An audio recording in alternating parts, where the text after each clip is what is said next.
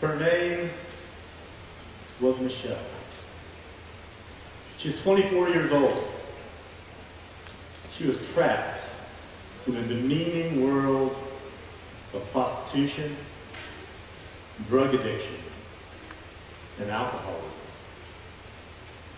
Wanting to escape the hell on earth that had become her life. Michelle disguised herself and hid from her pimp while she went through chemical withdrawal. But she was discovered. And she was beaten until she was unconscious, while the other prostitutes watched and learned. Next, she tried to commit suicide. Anything to escape the nightmare that her life had become. A relative found her body and rushed her to the hospital where her life was saved. This time, Michelle turned to the only place she could imagine where she might find hope the church. You see, she had no sense of self worth left. She had been used by men, rejected by the world. But she turned to God's people, knowing that she deserved punishment, but hoping against hope that she would find mercy. But you see, halfway through the church service, the pastor recognized her. It's a whole other story how he recognized her, but we won't get into that. And before the entire congregation, he pointed her out and lectured her for defiling the house of God with her filthy presence. And then he ordered her to get out of the church, judged, and then condemned. Last week, as we started this series, we looked at how that spirit has no place in the life of a Christ follower. And it has no place in a church like Catholic. Jesus went out of his way to say, whatever you get from me about heaven and hell, holiness and sin, don't read into anything that license to judge and to condemn others. So when people hold up signs, signs like, we hate fags, when they shun people who are divorced, when they stand outside abortion clinics and call scared young girls murderers, when they say that New Orleans deserved Katrina, New York deserved 9-11, or California deserves it whenever the big one hits. They are not followers of Christ. Instead, the church. The church is to welcome those. Welcome those who have messed up. Those who have screwed up marriages, piercings, tattoos, addictions, divorce, children out of wedlock, roommates who aren't their spouses. We are to welcome everyone. Everyone's differences and everyone's scandals with an even greater scandal the scandal of grace. Not always in affirmation of their life choices, but always with personal acceptance so that they can experience that grace for themselves. But what about God himself? Is that where the condemnation begins? With him? Unfortunately, that's what some people think. You see, some people view God as the auditor from the IRS, the highway patrol officer sitting in a speed trap, the angry parent it's best to avoid.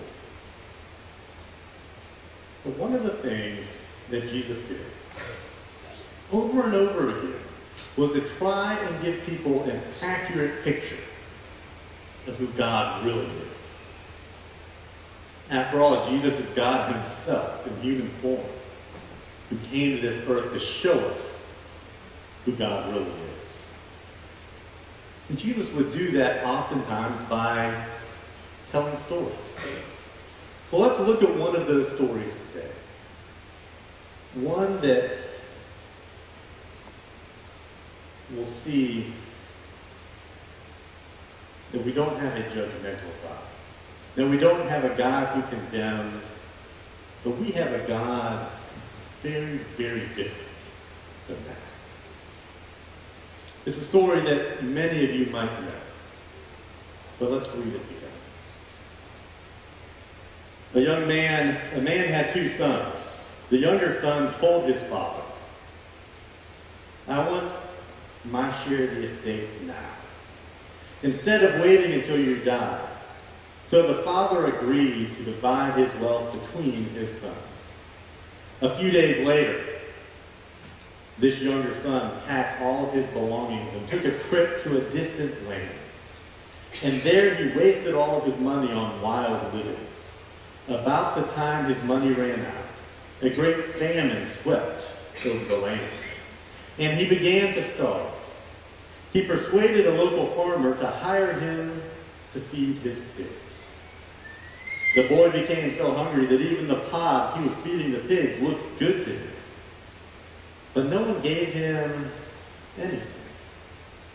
When he finally came to his senses, he said to himself, At home, even the hired men have food enough to spare. And here I am dying of hunger. I will go home to my father and say, Father, I have sinned against both heaven and you. And I am no longer worthy of being called your son. Please take me on as a hired man. Let's stop there for a second. When it came to the son, Jesus didn't pull any punches. The son was selfish, insensitive to his father, greedy for all he could get, and then anxious to walk away and live his life on his own. In fact, that's putting it mildly. When he asked for his inheritance, before the father had even died, it was like saying to his father, I wish you were dead. I want nothing to do with you. From this point forward, you are dead to me. And then he threw himself into a lifestyle that he knew abandoned every value that his father held. He chased a life that would embarrass his father, would bring shame onto his family, and fleshed out rebellion against the life his father had called him to live. And even that, even that is not strong enough. You see, the word that's used for wild living from that verse. That Greek word is used only one time in the entire Bible. The only time that word is ever used. And it means incurable, hopeless, Someone who's living in such a way that it is literally destroying himself. The word gives the idea of wildness, a lack of discipline, living in a way that dissipates your life until nothing is left. No other life the entire Bible described with that same word. That's the strength of what's going on in his life. But then the money ran out. Times got hard. And he realized the nature of his life. You see, he had pursued multiple sexual partners and experiences, but never gained companionship. He had spent the money, but found it never gave him any lasting satisfaction. He chased independence. and ended up a little more than a slave. In the end, he had nowhere to go but home. And yet, that was the last place that he wanted to go. He knew what he would find there, or at least what he deserved to find. Condemnation, judgment, maybe even worse. And that reminds me of another ancient story which is very similar to this. Story of another wayward son, a boy who was involved with the wrong crowd, and they persuaded him to join them in the robbery of this boy's father. And after the robbery was over, his friends fled with the loot, leaving this boy alone to face the guilt. Deserted by his friends, realizing that he had betrayed his father, he went home and he begged his father for forgiveness. Surprisingly, it was granted. Then the father called everyone together for a feast to celebrate the reconciliation and return of his son. And the father stood up and lifted his cup for a toast. And the son drank the contents of his cup. And he grabbed his throat, fell lifeless across the table. The father had poisoned his cup. He got what he deserved. The son in Jesus' story might have expected the same. But he had nowhere to go.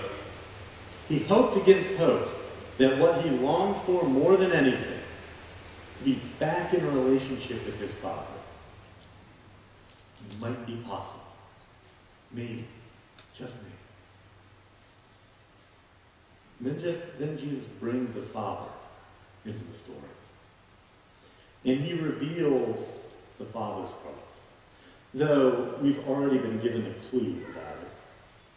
When the Son asked for his inheritance, Father didn't have to give it. He didn't have to let him go. Because it meant dividing up his property and selling it. He could have looked at his son and said, if that's the way you feel, get out. I'm not giving you a dime. But he let him. He gave him his inheritance. And he let him go. So what happened when the boy returned? Let's pick up the story there. So he returned home to his father. And while he was still a long distance away, his father saw him coming, filled with love and compassion. He ran to his son, embraced him, and kissed him. His son said to him, Father, I have sinned against both heaven and you, and I am no longer worthy of being called your son. But his father said to the servants, Quick, bring the finest robe in the house and put it on him. Get a ring for his finger and sandals for his feet, and kill the calf that we have been fattening in the pen. We must celebrate with a feast. For this son of mine was dead and is now returned to life. He was lost, but now he is found. So the party began. Now that's. But make sure you get the picture here. While the son was still a long distance away, his father saw him coming. You know what that means? that he was looking for. Still looking for after all that time, gazing out the door. Every morning, every night, week after week, month after month, staring out at the road, hoping for his son's return. When he finally saw him, how did he react? Anger? No. Fury, wrath, judgment, condemnation, all of those were justified. But none of those he responded. The Father's heart was filled with love and compassion. His heart broke at the life his son had chosen to live and what it had done to him. And he was overjoyed that he had returned home. And then he did the unthinkable. He started to run. Don't overlook that fact. In that day's culture, no father, none, would run out to his son. Much less a wayward prodigal son. It didn't happen. The son would have approached his father, would have shown appropriate signs of respect, and then would wait for a response from his father. But not the father in Jesus, Jesus' story. He breaks out in a full run. He couldn't control himself. He threw all dignity, all decorum, all reservation to the wind, and he ran. Can't you just see this old man, tears streaming down his face, running down the road with his clothes flapping in the wind, his arms outstretched, his beard flapping, grinning and laughing and crying all at the same time. All over the sight of his child. And the son hadn't even apologized yet. He didn't know what his son was coming for. The son could have been coming and asking for more money. Didn't matter. The father was looking for him and ran. And then he picked him up, held him tight, never wanting to let him go. He didn't even let the son give the entire speech. He was too busy calling out to everyone else, he's home, he's home. Break out the band, prepare the table. He's home. Dead, now alive. Lost, and now found. In that very moment, the son realized that everything he had thought about his father was wrong. Everything he believed about his father's character was unfair. Everything he had been searching for was found right there. Jesus told that story to tell us that that Father is God and that we are that child, the prodigal child. Because God is a God of grace. George Buttrick, who was the former chaplain at Harvard, used to talk about when students would come into his office and they would say, I don't believe in God. And he'd tell them to sit down and tell me what kind of God you don't believe in. Because I probably don't believe in that type of God either. So if you've been thinking of God is that cosmic cop, that IRS auditor, the angry parent, the condemner, think again. Because that's not who God is. Whenever I think of this story, I think of another story that I read of a young girl, girl who grew up on a cherry orchard just above Traverse City, Michigan. You see, her parents, they were a bit old-fashioned. They tended to overreact to her nose rings, her music, her short skirts. They grounded her a few times. They argued regularly. And then one night, after a heated argument, she screamed out at her father, I hate you. And later that night, she ran away. And she went to Detroit. She thought that that would be the last place that they would ever look for her. On the second day in the city, she met a man who drove the, one of the biggest cars that she had ever seen. He offered her a ride, bought her lunch, and arranged for her to have a place to stay. He even gave her some pills. Some pills to make her feel better than she'd ever felt before. And she thought to herself, she had been right all along. Her parents had been keeping her from having fun. The good life, as she called it, went on for a month, two months, a year. The man in the big car taught her a few things that men like. And since she was underage, men paid a premium for her. She lived in a penthouse, ordered a room service whenever she wanted. Every now and then, she thought back to her parents, back home. But their lives, they seem so boring and plain and old-fashioned.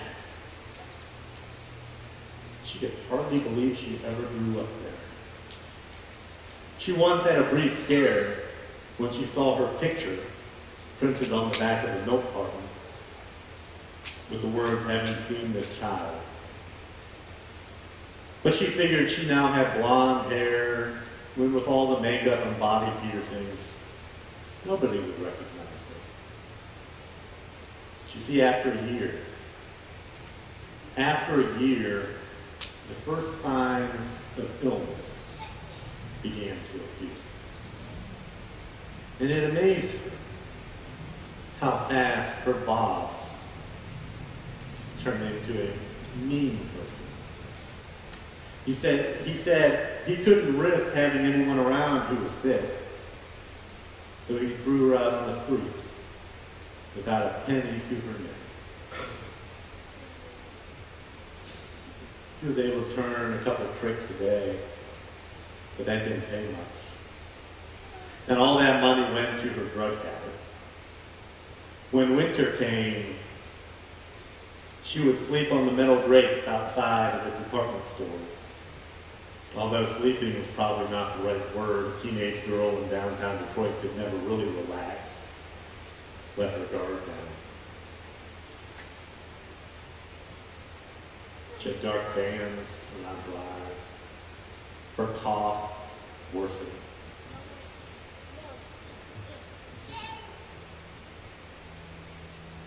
Everything about her life suddenly looked different.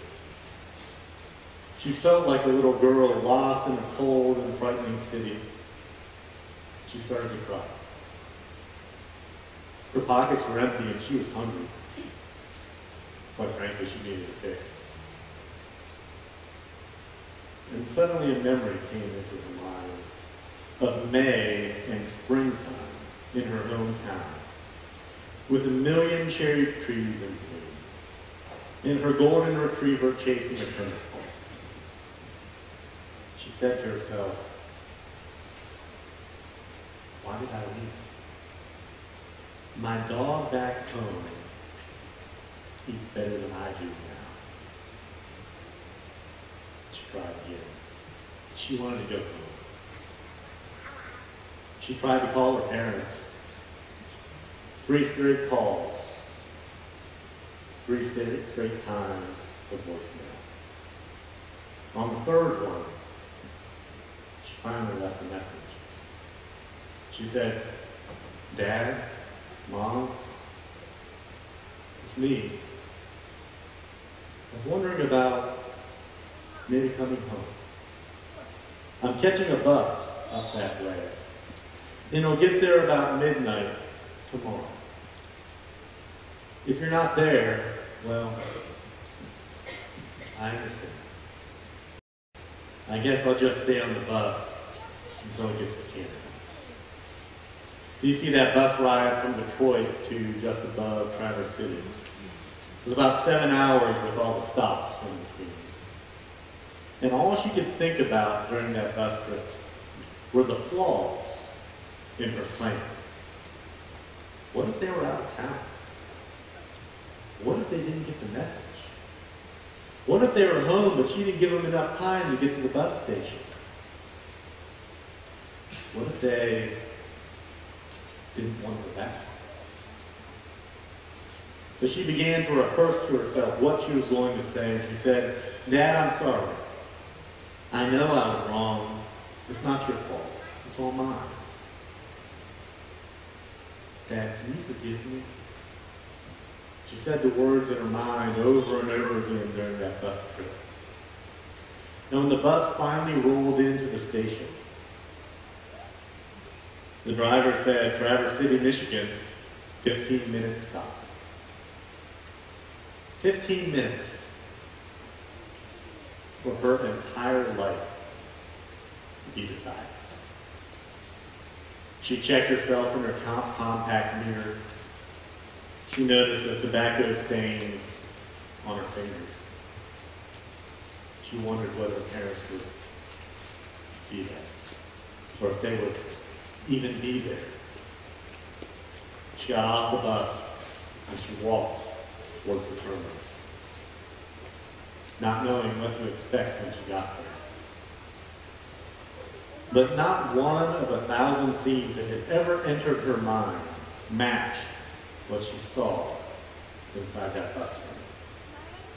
You see, inside that bus terminal stood a group of 40 brothers and sisters, great aunts and uncles and cousins, a grandmother, even a great grandmother. They were all wearing goofy party hats, blowing noisemakers, and taped across the entire wall of the terminal was a banner that said, Welcome home. Then out of the crowd stepped her father. She said, Dad, I'm sorry, I know. And he stopped her. He said, Hush, child. We've got no time for that. You'll be late for the party. A banquet waiting for you at home. That's the story Jesus told of the prodigal son. A story of someone who turned away from God and found out that it wasn't the life that they wanted. And then came back filled with guilt and shame, expecting rejection and condemnation, but instead finding love, forgiveness, and radical acceptance. Or simply put, finding grace. You know what grace is, don't you? It's getting what you don't deserve and not getting what you do. It's about God's love coming to us free of charge. No strings attached. You can't earn it. You can't work for it. It's just there. A gift. It flows from the unconditional love of God for you and for me. No catches, no loopholes, just the extended arms of a loving, forgiving, and gracious God to any guilt-ridden, repentant child who wants to come home. The story of the prodigal son the story of the prodigal daughter can be your story, too. You see, once you discover that God really is a God of grace, a God who looks down on us in our frailty, in our brokenness, in our sin, and longs to redeem us. You know what that word redeem means? To redeem someone means to buy them back, to pay whatever it costs, to do whatever it takes, to deliver someone from whatever it is that has tied them down, whatever it has that has them in bondage, in chains. For us, that's called sin. You see, sin deserves to be judged and condemned, and the penalty paid for. But the Bible, the Bible says that God came to earth in the person of Jesus to be our Redeemer because he loves us. Because he loves us. He redeems us at whatever the cost. Whatever it takes, whatever it costs, no matter the price, even if that price is a cross.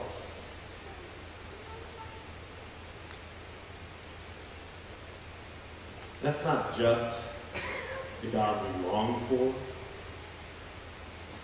That's the God we have.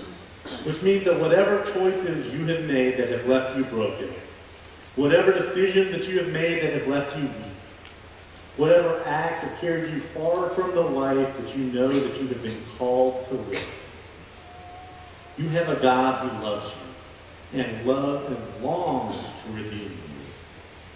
He wants to run down that road, meet you where you are, wrap his arms around you, meet your weakness with his strength, to meet your need with his supply, to meet your failure with his forgiveness. If you came here today thinking you're going to get an Easter sermon, you did. You see, what Jesus did on that cross, what Jesus did in the tomb, and what Jesus did when he rose from the tomb, that love of Jesus, the grace of Jesus, that is the very essence of the Easter season.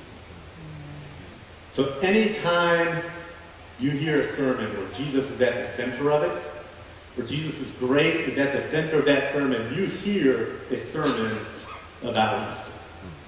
It doesn't have to be a special sermon once a year. It can happen every single week when we have Jesus in our life. Amen.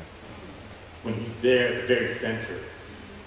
When we accept his grace and forgiveness.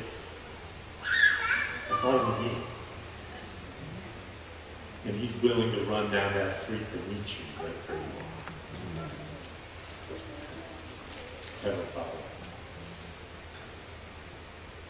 Lord, thank you for what you did. Thank you that you're willing to accept us for just who we are, with all of our mistakes, with all of our flaws, with all of our sins. That you're willing to run down that street and meet us. You're not waiting for us to get to you, Lord. You're meeting us where we are. And God, help us to realize that you are, in fact, a God of grace. That you're not some cosmic cop. You're not looking for the things that we've done wrong. But you are just waiting for us to turn to you. Waiting to forgive us. Waiting to redeem us. Waiting to give us that radical grace that only you can do. In your son's name.